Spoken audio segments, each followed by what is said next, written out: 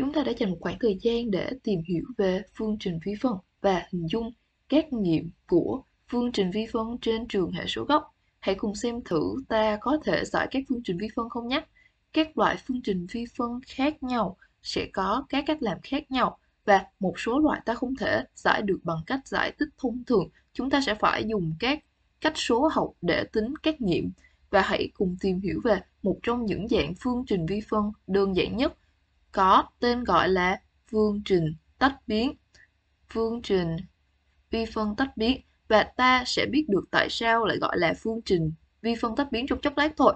Ta có đạo hàm của y tính theo x bằng âm x phần y nhân e mũ x bình. Ta có phương trình vi phân này và ta muốn tìm nghiệm cụ thể đi qua điểm x bằng 0, y bằng 1. Mình sẽ cho bạn gợi ý để dừng video lại và tự làm trước. Bạn có thể dùng cách làm đại số cho một vế phương trình để tách các y và dy và vế còn lại sẽ còn các x và dx, sau đó lấy tích phân.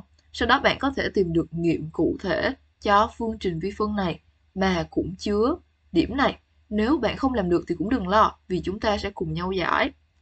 Như mình đã nói, hãy dùng một ít tư duy đại số để đưa hết y và dy sang một vế và đưa hết x và dx sang vế còn lại.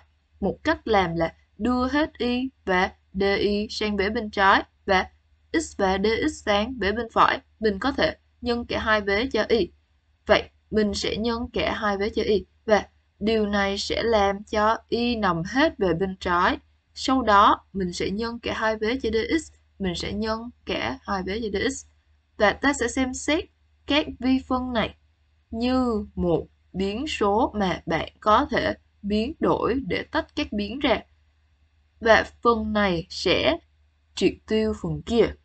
Ta còn lại y nhân di. y nhân di bằng âm x. Để mình viết như thế này nha. Âm x mình viết thoải mái ra tí nha. Âm x nhân e. Nhân e. Của âm x bình. Dx nhân dx vậy ở đây có gì thú vị? Mình có thể lấy tích phân cả hai vế này và điều này càng làm nổi bật phương trình tách biến vì bạn không thể làm điều này với mọi phương trình vi phân. Bạn không thể dùng cách làm đại số để tách các y và dy sang một bên và các x và dx sang vế còn lại nhưng ở dạng này thì được. Và đó là lý do tại sao nó được gọi là phương trình vi phân tách biến. Phương trình vi phân tách biến. Và đây nên là cách đầu tiên bạn thử với các bài toán nghĩ xem bạn có thể tách các y và x hay không vì cách này sẽ không áp dụng được với phần lớn các phương trình vi phân. Nhưng với bài này ta, ta đã tách được và có thể lấy tích phân hai vế cùng làm nhé mình sẽ dùng một màu khác cho dấu tích phân. Mình sẽ lấy tích phân cả hai vế. Nếu lấy tích phân với bên trái thì được gì nè? Và hãy nhớ rằng ở đây ta sẽ lấy tích phân tính theo y nha. Đây sẽ là y bình phần 2 và sẽ có một hằng số ở đây nữa. Mình sẽ đặt là cộng C1 và nếu bạn lấy tích phân vế trái thì nó sẽ ra như vậy. Và vế phải ta sẽ lấy tích phân tính theo x. Ở đây bạn có thể thế biến u hoặc có thể nhận ra là đạo hàm của âm x bình sẽ bằng âm 2x. Nếu ở đó là số 2 và bạn không muốn thay đổi giá trị của tích phân thì bạn có thể đặt 1 phần 2 ở ngoài và bây giờ bạn có thể hoặc là đặt biến u trong bài hoặc là làm nhẩm. Bạn có thể viết ra u sẽ bằng âm x bình và du sẽ bằng âm x nhân dx hoặc làm nhẩm tất cả. Vì đây là đạo hàm nên mình có thể lấy tích phân tính theo u. Vậy sẽ ra được ở đây là 1 phần 2. 1 phần 2 ở đây. Nguyên hàm của phần này sẽ là e mũ âm x bình và phải có thêm một hằng số. Mình sẽ gọi là C2. Và nếu bạn thấy không hiểu những gì mình vừa làm khi thế u, bạn có thể quay lại xem phần đó nhé. Mình làm gì tiếp theo nào? Ta có hằng số ở vế trái là một hằng số bất kỳ, ta không biết nó bằng gì và mình vẫn chưa dùng đến điều kiện ban đầu. Điểm x bằng 0, y bằng 1 ấy, mình sẽ trừ c1 cho cả hai vế.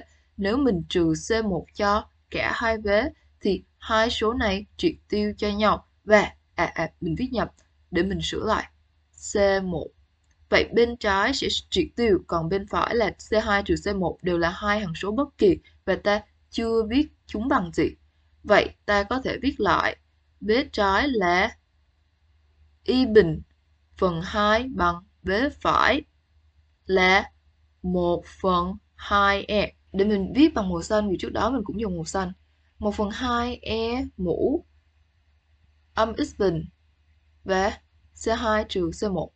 Mình gộp thành um, C đi.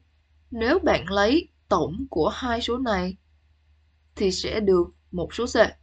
Và ta đã tìm ra được một nghiệm tổng quát. Ta không biết hằng số bằng gì. Và ta vẫn chưa trực tiếp giải y. Nhưng ở dạng này, ta có thể tìm nghiệm cụ thể dùng điều kiện ban đầu.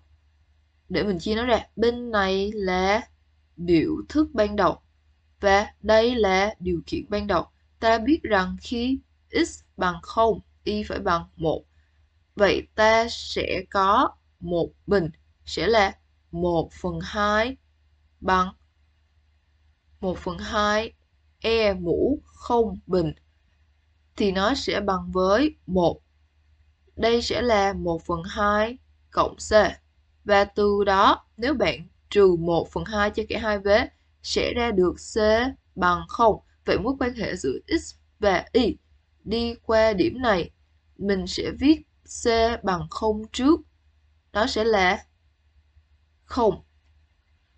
Không ở đó và ta còn lại y bình phần 2 bằng e. Mũ.